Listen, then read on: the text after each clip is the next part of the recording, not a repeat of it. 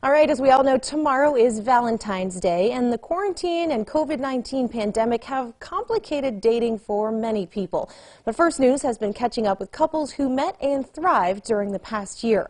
Abby and Frank from different spots in Trumbull County matched on Tinder on March 21st last year. Now, Frank was about to delete the app, but he knew he had to reach out to Abby after seeing a photo of her wearing an Indians jersey. The two college students met for the first time in May after a lot of FaceTime dates. Frank met Abby's entire family on their first date and enjoyed their first summer, summer together with bonfires, card games, and other activities at home. Just getting creative and, and doing that stuff, I think it's made us a lot stronger. And yeah, it was a while before we had like an actual normal date. What, it was like always July? yeah, it was always Yeah. just hanging out at the house and finding ways to spend time together that were more special than just sitting on the couch.